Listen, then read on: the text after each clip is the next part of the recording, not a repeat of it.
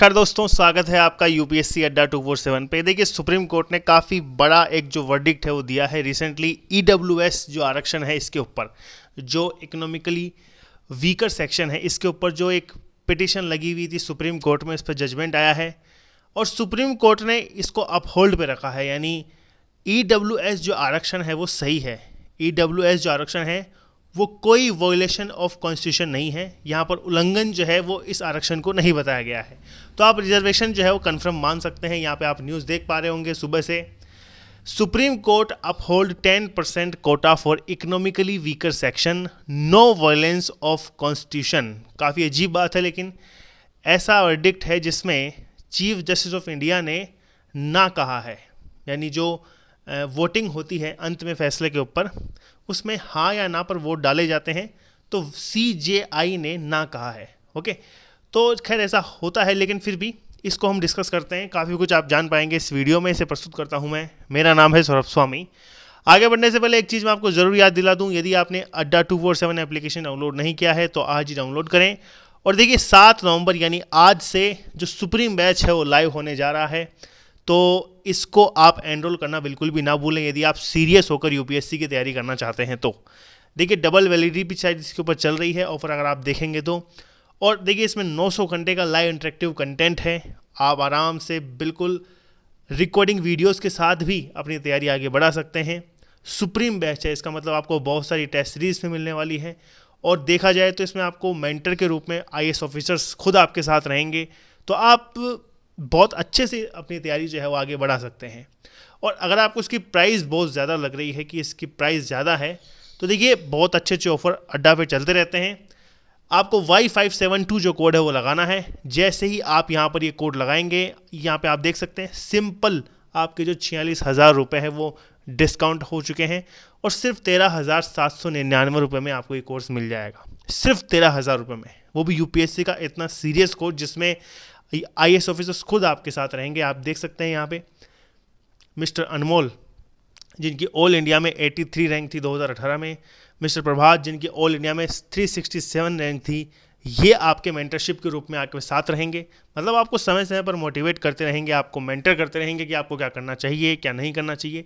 तो इतना शानदार कोर्स आपको तेरह हज़ार रुपये जैसी कम प्राइस में आपको मिल रहा है। ऐसा शायद आपने किसी प्लेटफॉर्म के ऊपर अभी तक नहीं देखा होगा। तो देखिए, अगर आप ज़िंदगी में सीरियस होकर यूपीएससी की तैयारी करना चाहते हैं तो इस कोर्स को एनरोल करना बिल्कुल भी ना भूलें। इसमें pre plus mains plus CSAT तीनों की तैयारी करवाई जाएगी। साथ ही ये बाइलिंगुअल बैच है, आप किसी भी मीडियम से बिलोंग करते हो यह आपके लिए काफ़ी फ़ायदेमंद जो कोर्स है, वो होने वाला है। इसलिए इस कोर्स को एनरोल करना बिल्कुल भी ना भूलें। और जितने भी कोर्स हैं, अड्डा टू फोर सेवन एप्लीकेशन के ऊपर या वेबसाइट पे, चाहे आप बैंकिंग के स्टूडेंट हों, एसएससी के हों, रेलवे के हों, अगर आप कोई भी कोर्स एनरोल करना चाहते हैं, स्टेट पीसीएस का भी कोई कोर्स हो तो वाई फाइव सेवन टू लगाना बिल्कुल भी ना भूलें। आपको सीधे सेवेंटी फाइव से लेकर सेवेंटी एट तक का जो परसेंट तक का जो डिस्काउंट है, वो ज़रूर मिल जाएगा। देखिए, सुप्रीम कोर्ट ने जो आर्थिक रूप से कमज़ोर वर्ग है ईडब्ल्यूएस e उसको दिए गए आरक्षण को मंजूरी दे दी है मतलब वैध माना है, ओके वैलिड माना है। यहाँ पर chief justice U U Lalit की अध्यक्षता वाली पाँच जजों की बेंच ने तीन दशमलव दो मतलब तीन में हाँ है, दो में ना है। तो तीन दशमलव दो में संविधान में जो एक सौ तीनवा संशोधन हुआ था, उसके पक्ष में फैसला सुनाया है।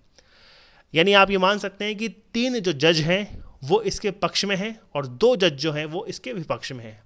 हालाँकि ऐसा हुआ है कि मुख्य न्यायाधीश यू यू ललित और जो न्यायमूर्ति हैं, रविंद्र भट्ट, इन्होंने ई डब्ल्यू एस जो कोटा है, इसके खिलाफ अपनी राय जो है, वो व्यक्त की है। बाकी तीन जजों ने कहा है कि यह संशोधन जो है, संविधान की मूल भावना के खिलाफ नहीं है।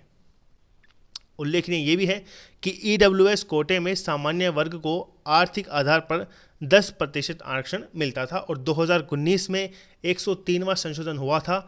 उसके तहत ई e जो रिजर्वेशन है, वो हमारे सामने आया था। हालाँकि इसके कुछ शर्तें थी, वो हम आगे देखेंगे। लेकिन इनमें से आप देख सकते हैं इस तस्वीर से कि कौन कौन से जो जज है इन्होंने इसके पक्ष में बात कही है और किसने इसके विपक्ष में बात कही है? जस्टिस बेला त्रिवेदी इन्होंने इसके पक्ष में बात कही है। जस्टिस दिनेश माहेश्वरी इन्होंने भी इसके पक्ष में बात कही है। Just C J I U U Lalit जिन्होंने इसके विपक्ष में बात कही है। इनके अनुसार ये जो ई डब्ल्यू एस जो रिजर्वेशन है, वो संविधान के खिलाफ है। इसके साथ ही रविंद्र भट्ट जो जस्टिस हैं, इन्होंने भी इसी के खिलाफ जो अपना पक्ष है वो रखा है। इनके अनुसार अनुसार भी जो ई डब्ल्यू एस रिजर्वेशन है, ये संविधान की जो भावनाएँ हैं, इनको ठेस पहुंचाता है। और इसी के साथ जस्टिस जे बी पादरी वाला इन्होंने भी इसके पक्ष में अपनी राय रखी है। तो पाँच जजों की पूरी पीठ, संवैधानिक जो पीठ है, वो बैठी थी, जिसने अपना जो वर्डिक्ट है जजमेंट है, वो सुनाया है। अच्छा एग्जैक्टली exactly जो मामला था, उसको हम समझते हैं। लेकिन उससे पहले आप ये समझिए कि 2019 के अंदर जो केंद्र सरकार है, इन्होंने अनाउंस किया था 103वां संवैधानिक संशोधन। अब कोई भी संवैधानिक संशोधन है, वो लोकसभा में पास होता है, उसके बाद में राज्यसभा में पास होता है, उसके बाद राष्ट्रपति उसके ऊपर अपनी मोहर लगाते हैं। और इसके आधार पर ये कहा गया था कि जो ई e वर्ग है, इसको प्रवेश में या सरकारी नौकरियों में 10 प्रतिशत का जो आरक्षण है, वो प्रदान किया जाएगा। हालाँकि कुछ शर्तें जो है, वो रखी गई थी कि परिवार की जो आय है, वो सालाना आठ लाख रुपए से कम होनी चाहिए। कृषि योग्य जो भूमि है वो पाँच एकड़ से कम हो, आवासीय घर जो है वो हज़ार फीट से, हज़ार वर्ग फीट से कम हो। उसके साथ साथ जो अधिसूचित न्यायपालिका है, उसमें सौ गज से कम का प्लाट हो और साथ ही जो गैर अधिसूचित नगर पालिका है, उसमें 200 गज से कम का प्लाट हो। ये कुछ पाँच बेसिक शर्तें जो है वो रखी गई थी, वही व्यक्ति इसके अंदर आ सकेंगे। और उसके बाद में लोगों ने इसका काफ़ी फ़ायदा उठाया भी है।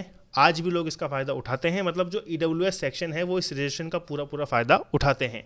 लेकिन देखिए, जब से ये जो संशोधन हमारे सामने आया था 2019 में, उसके बाद में सुप्रीम कोर्ट में स्पेसिफिकली केरल, तमिलनाडु जैसे कुछ जो राज्य हैं, इनके तरफ़ से बहुत से पिटिशन जो है वो लगाई गई थी कि ये जो है संवैधानिक जो भावना है उसको ठेस पहुँचाता है। लोगों को जाति के आधार पर बांटने का काम जो है वो ई e आरक्षण करता है। इस तरह की जो पिटिशंस थी, वो सुप्रीम कोर्ट में पहुँची थी। अब जैसे एग्ज़ाम्पल के लिए आप केरल का एग्ज़ाम्पल ले सकते हैं। केरल ने इस पूरे वर्डिट के ऊपर जब ये ई e आरक्षण आया था, तब ये कहा था कि सरकार ने ई e के लिए एक आदेश जारी तो कर दिया, लेकिन यहाँ जो केरल की जनता है वो खुश नहीं है, क्योंकि शीर्षक जातियों को वहाँ पर बहुत से अलग अलग आरक्षण जो है वो मिले हुए हैं। और वैसे भी सभी देश में सभी विशेषाधिकार जो जातियाँ हैं, इनको मिला हुआ है। तो कुछ इस तरीके के जो ऑब्जेक्शंस हैं वो लगाए गए थे। उसके साथ साथ जब पिटिशंस लगाई गई तो डीएम के पार्टी या फिर और भी जो तमिलनाडु की कुछ पार्टियाँ हैं, इन्होंने भी सुप्रीम कोर्ट में पिटिशन लगाई थी। और कुल मिलाकर इन्होंने ये कहा था कि देश को जाति के आधार पर बांटने का जो काम है, वो ई e आरक्षण कर रहा है। मतलब संवैधानिक ये जो संशोधन है, ये सामाजिक न्याय की जो संवैधानिक दृष्टि है, उस पर हमला करता है, संविधान की भावनाओं के ऊपर हमला करता है। फिर सरकार ने 2022 से इसके ऊपर सुनवाई करना शुरू किया और 27 सितंबर को यहाँ पर अगर हम बात करते हैं तो ई e कोटे की वैधता को चुनौती देने वाली जो याचिका है, इसकी सुनवाई की गई। बाद में सुप्रीम कोर्ट ने अपने जो फैसले हैं, इसको सुरक्षित कर लिया था। और सुप्रीम कोर्ट ने यह भी कहा था कि नवंबर में अंतिम जो निर्णय है वो लिया जाएगा।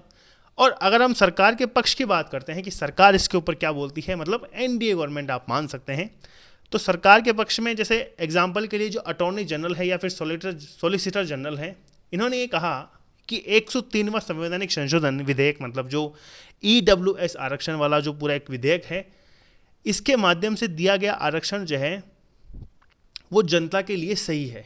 यहाँ पर ये कहा गया कि 50 प्रतिशत कोटे से छेड़छाड़ किए बिना सामाजिक और आर्थिक रूप से जो पिछड़े वर्गों को जो ये आरक्षण है वो दिया गया है।